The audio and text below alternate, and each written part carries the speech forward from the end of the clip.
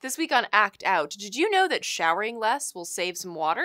Sadly, not millions of gallons that fracking operations use in a day, nor will it keep your water safe from contamination or your house from exploding.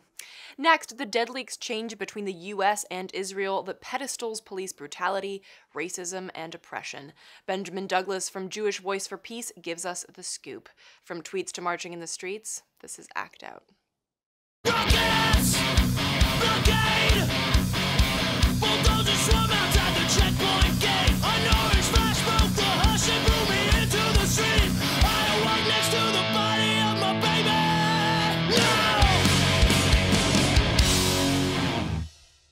Welcome to Act Out. I'm Eleanor Goldfield, and this is your tipping point. A recent Duke University study shows that between 2011 and 2016, the amount of fracking wastewater rose 1,440%. Furthermore, the amount of water used for fracking in the US rose 770% in that same time period. Meanwhile, the study found that fracking operations ultimately use more water than they find oil or gas. For instance, in California in 2013, more than 3 billion barrels of produced water were extracted along with some 0.2 billion barrels of oil. Yeah, that ratio is pretty much shit, particularly for a state that's been on fire the better part of two years. So, in other words, we are pressure washing rocks with millions of gallons of fresh water in order to find a smaller amount of oil and gas, thereby releasing a toxic mix of water laced with chemicals and radioactive materials, only to add to that the toxins released from burning fossil fuels. Because progress, right? And we'll get to the issue of siphoning fresh water from stressed watersheds in a minute, but first, let's address the issue of wastewater, because it's mind boggling. Indeed, even a lawyer with an oil and gas friendly law firm admitted in a recent interview one of the things I think we can lose sight of is just how much produced water we are creating, which is more on a per day basis than Niagara Falls has going over it in an hour. Produced water, by the way, is a term used by the fossil fuel industry to refer to toxic wastewater. It's just that produced water sounds better.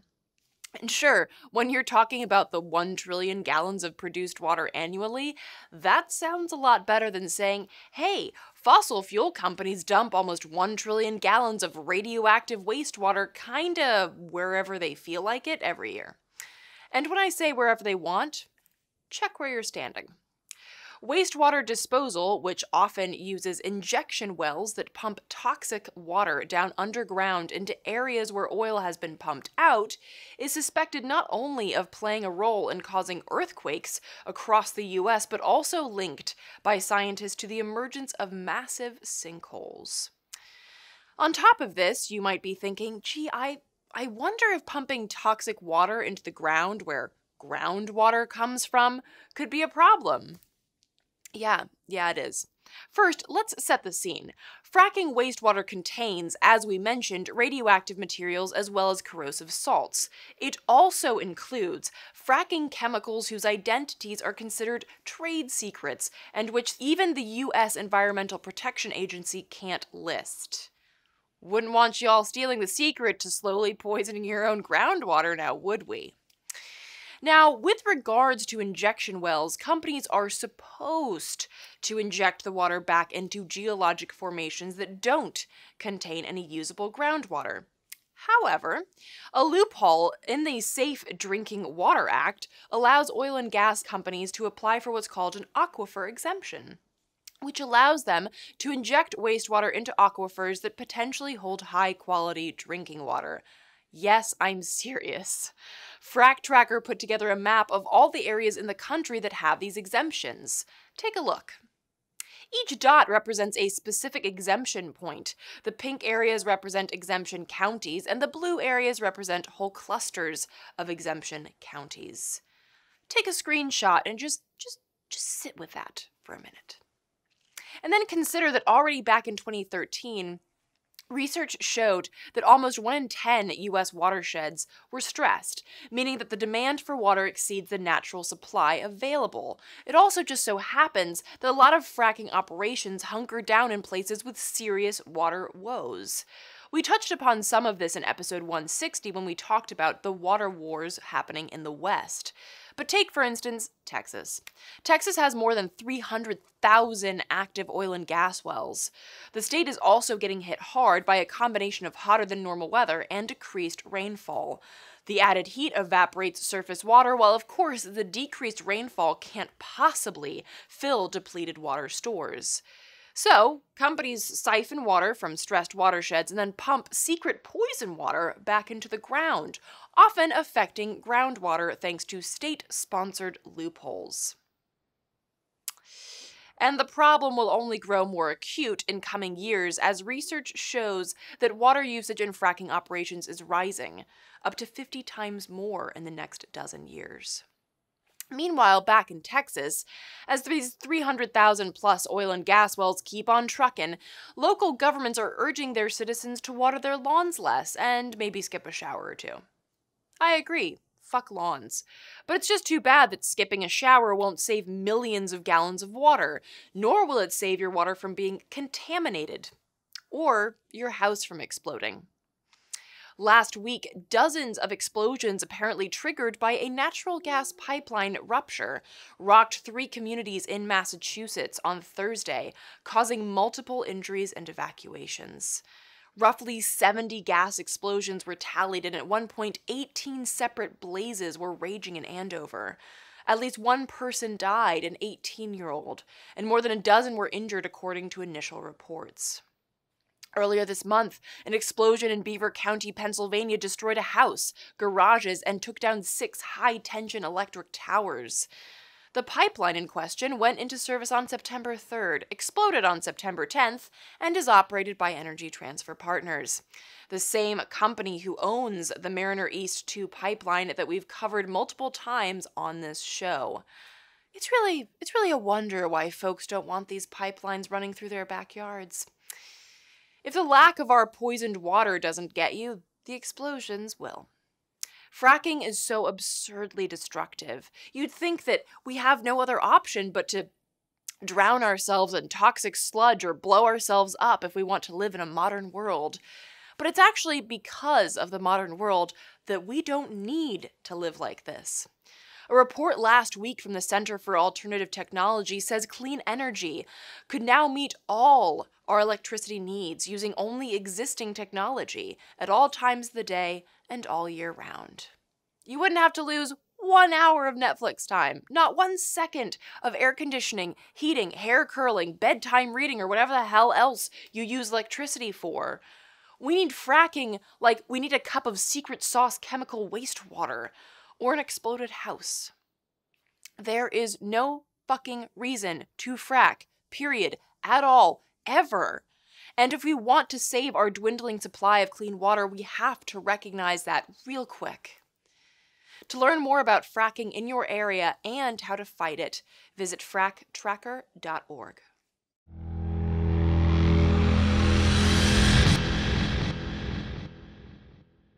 Moving on today, earlier this year, Durham, North Carolina became the first city in the United States to ban police exchanges with Israel, part of what the national organization Jewish, Jewish Voice for Peace calls the Deadly Exchange. Elsewhere in the country, the push to end this deadly exchange continues. Here in DC, Jewish Voice for Peace has submitted FOIA requests in order to get details regarding the programs that police in the Metropolitan Police Department have taken part in with police brutality a common reality, particularly for black and brown communities here and elsewhere, it's disgusting to think that these ideas are being shared and promoted between brutal cops here and occupying apartheid forces in Israel. And if you recall from last week, we covered Israel's disdain for Black Lives Matter due to BLM's support of the BDS movement, tying their struggle for justice and freedom with the struggles of Palestinians. And while Israel's targeting of BLM may be new, the exchange program that fostered racism, Islamophobia, and terrorist brutality is not. The programs can be traced back to the months after 9 11, when the first delegation attended a training expedition in Israel to exchange best practices, knowledge, and expertise in counterterrorism. This delegation included police, FBI, CIA, and future ICE officers.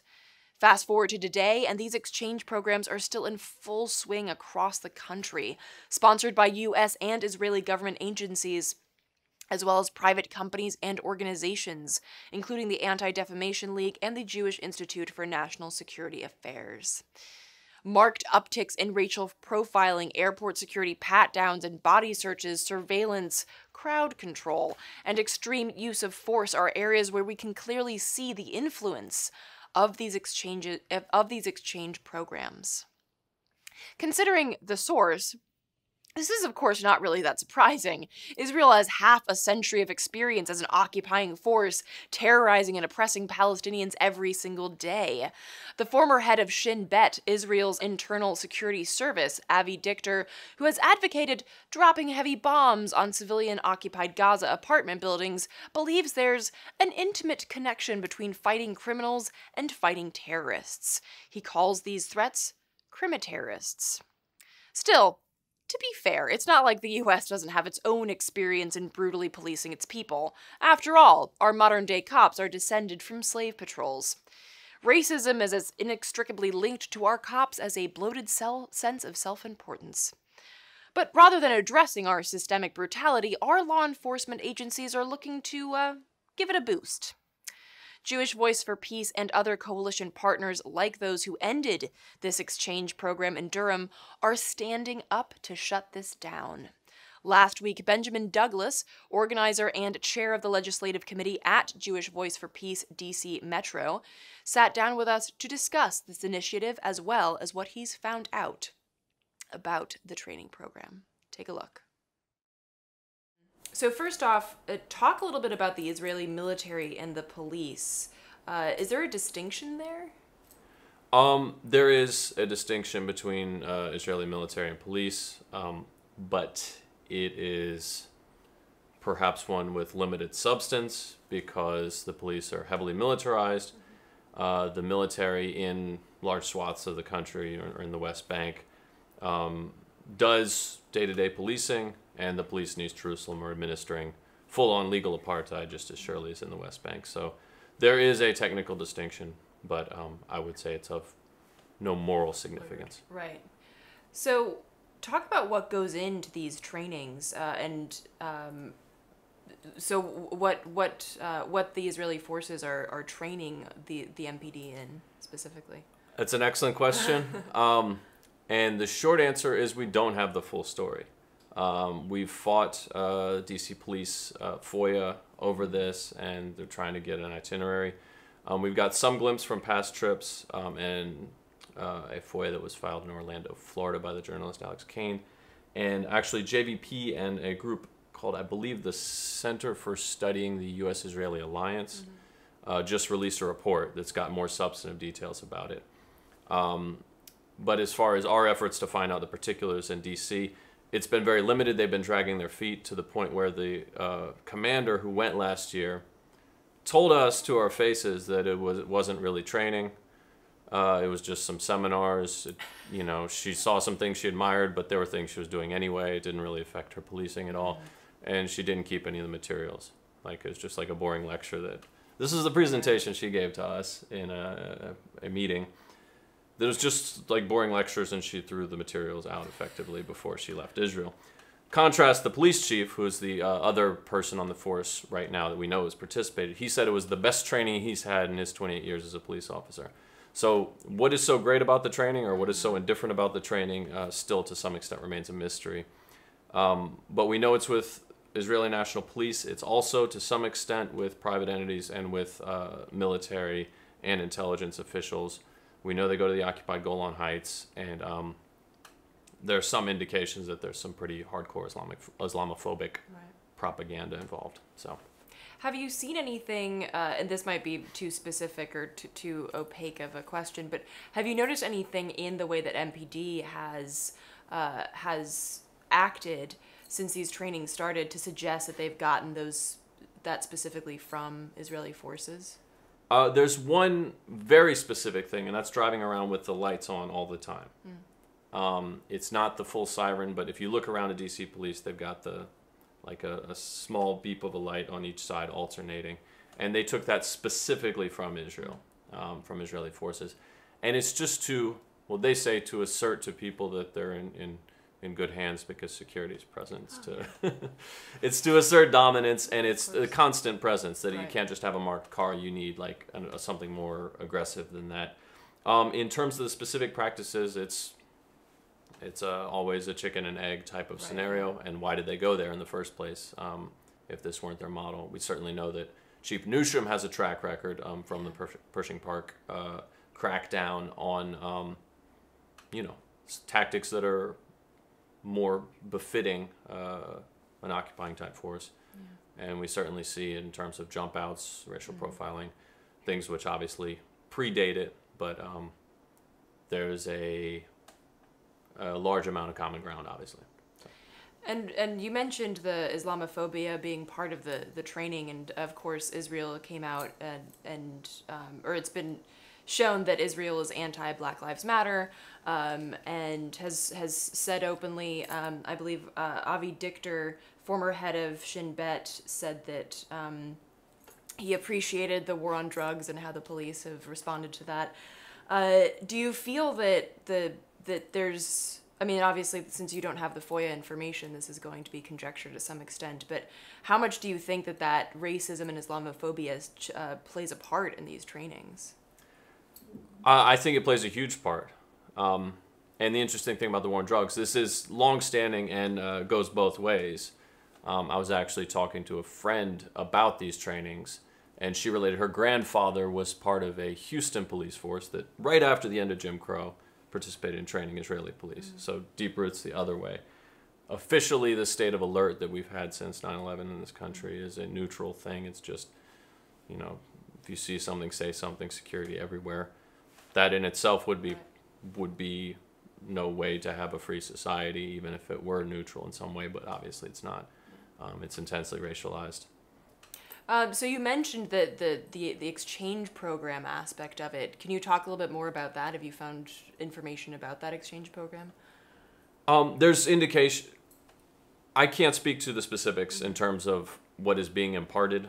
Um, this principal program by the uh, Anti Defamation League, civil rights group, um, is principally showing U.S. police, um, state, local, federal, um, how Israel, you know, is the Harvard of counter- counterterrorism as they advertise themselves, uh, how they do these things.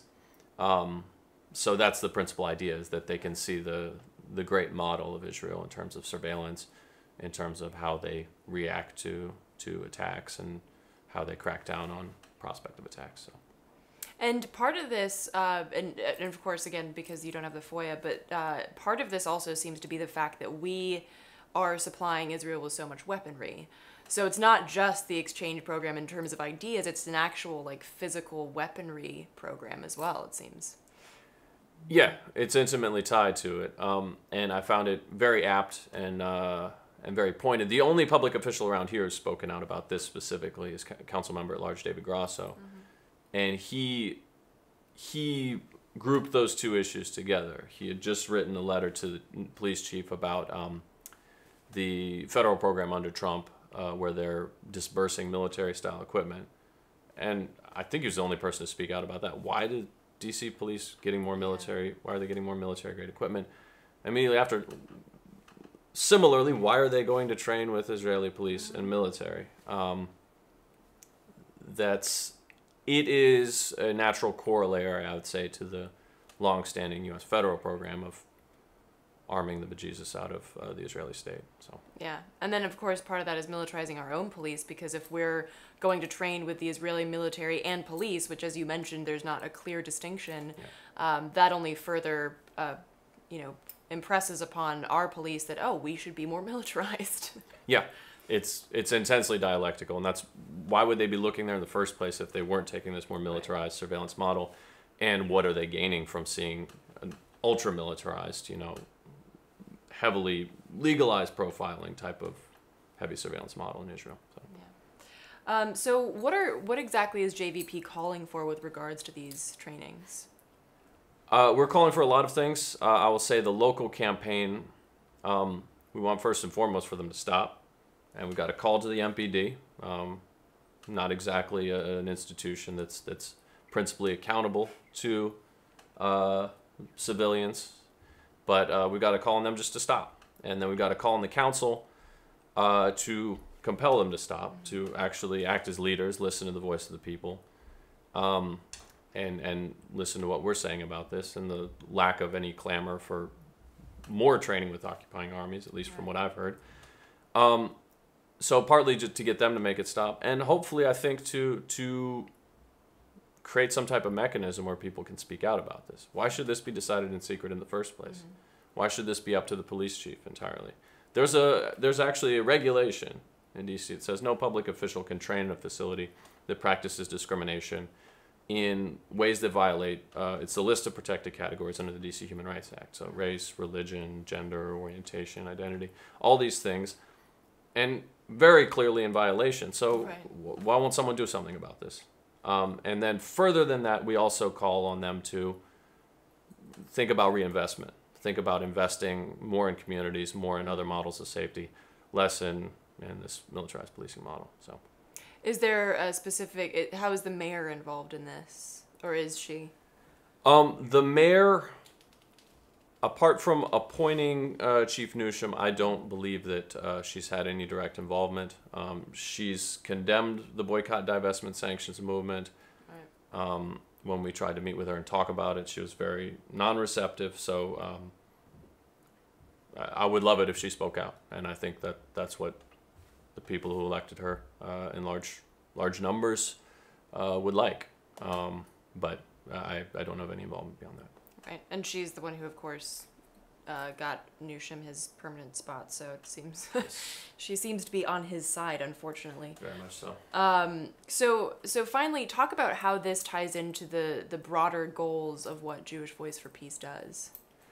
Well, um, we support peace through justice, peace with justice, and um, some years ago, this shifted from a, I mean, I won't say it's not flexible, but from a more amorphous picture of that, but in the case of Israel Palestine, to a model of full equality and human rights for everyone. So, not just ending the occupation of the territories uh, uh, in 67, not just full equality for, for the Palestinian citizens in 48, um, but also the right of return, and basing on that human rights model, however it's sliced.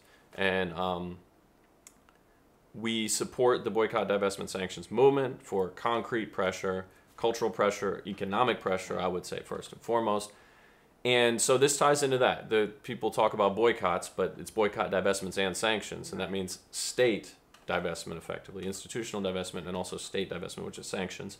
Um, and so this ties into that intimately. Stop treating occupation as a model.